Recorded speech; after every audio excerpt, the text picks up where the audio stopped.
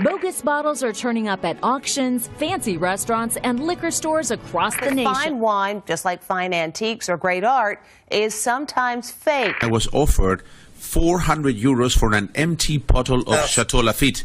He wanted to sell me all these wines that were 1940s and 1950s uh, Pomerols, Lafleur, and Petrus.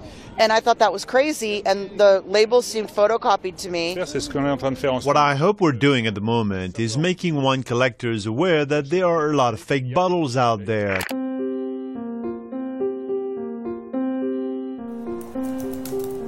We're seeing many different types of frauds pop up.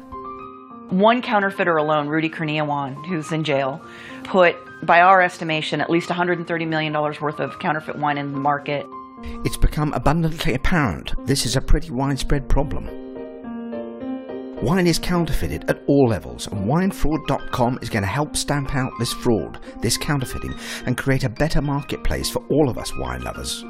We've been asked by people in all sectors of the wine trade for help combating counterfeits and combating wine fraud. We decided to make winefraud.com to help educate people and provide a place where due diligence can occur to understand where some of the problems are happening globally.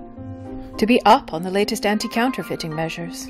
To teach collectors what to look for to avoid bad purchases.